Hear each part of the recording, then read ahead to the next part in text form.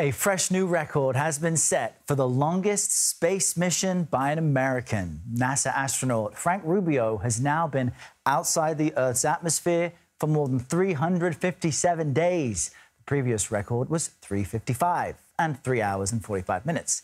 Rubio is on track to become the first American and the seventh person in the world to ever spend a full year in space. For more on this uh, out of this world achievement, we've got CBS News space analyst Bill Harwood joining us from the Kennedy Space Center. I guess the obvious question, Bill, why? Why has Rubio been in space so long? How much longer is he expected to stay up there? And, and how do we all benefit? Well, it's interesting. You know, he originally planned to spend just six months in space. That's the normal tour of duty for a space station crew member. Uh, but he launched on a Russian Soyuz spacecraft last, last September, and the following December, that spacecraft suffered a massive coolant leak. They think it got hit by a micrometeoroid. It ruptured a coolant line, and the Russians decided they didn't want to trust it to bring that crew back to Earth. Uh, instead, they launched a fresh Soyuz uh, back in February, March timeframe, and now they're going to come home on that spacecraft on September 27th. So to get the Russian launch schedule back on track with normal crew rotations, they had to stay up an extra six months. So just imagine getting that news when you're midway into your six month mission. Oh, by the way, it's going to be another six months before you can come home. Wow. So he wasn't lost in space, but Rubio certainly stuck in space no. for a long amount of time. Talk to us about the physical impact that this has on, on his body. I know that some astronauts come back to Earth, I think, taller than they went up. And, you know, all these advanced That's right. companies are planning um, human development of maybe Mars or the moon one day. What does it do to the body? Well, you know, it's really interesting. Uh, you know, the, there's all kind of effects. You lose uh, bone density, you lose muscle mass.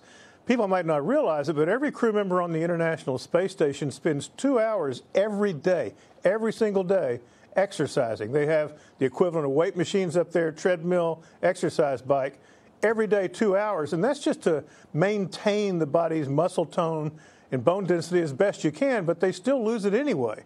And so when they come back to Earth uh, and get back into the Earth's gravity field after a year in space, as you can imagine, uh, despite the exercise, they don't walk off the spacecraft, they're carried off, and it can take anywhere from one to six months before an astronaut begins to feel relatively normal again. And it's, it's not just muscles and bone, their neurovestibular system, your ability to balance and perceive those things, that's also affected, and that also has to get back to normal, and it takes time.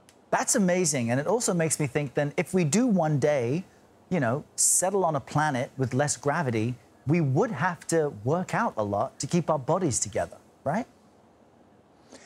Well, you would. I mean, it would depend on how much gravity is there. I mean, if you're on the surface of Mars, uh, that is certainly lots better than being in zero gravity. So uh, you'd probably still have to exercise, but maybe not as much.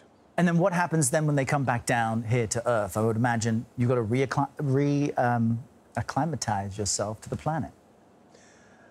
Uh, absolutely. You know, NASA has some very well thought out protocols on how they deal with that. Uh, they get intensive physical therapy when they first get back. And they, and, you know, clearly you're taking it very, very easy for the first month or so. You know, we just saw uh, four crew members come back from the space station a few days ago that had been up there for six months. And within a day or so, they were up and walking around. They did a news briefing yesterday, as a matter of fact, and they all look pretty, pretty fit. Uh, the folks who stay up a, a year or, or in that kind of a time frame, it takes them longer to get their earth legs back, if you will, but it does come back. Uh, there can be some longer range effects. Some astronauts' eyes are affected by weightlessness. Uh, they don't, they, they can't see as clearly when they come back. Uh, because of focusing issue. That's something they're researching. They study that all the time.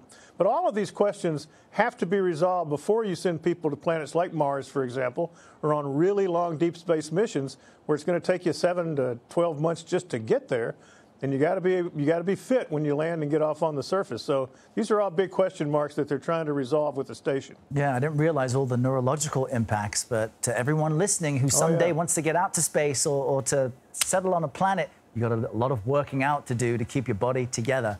Uh, Bill Harwood, great to chat with this about this with you. Thanks for joining us.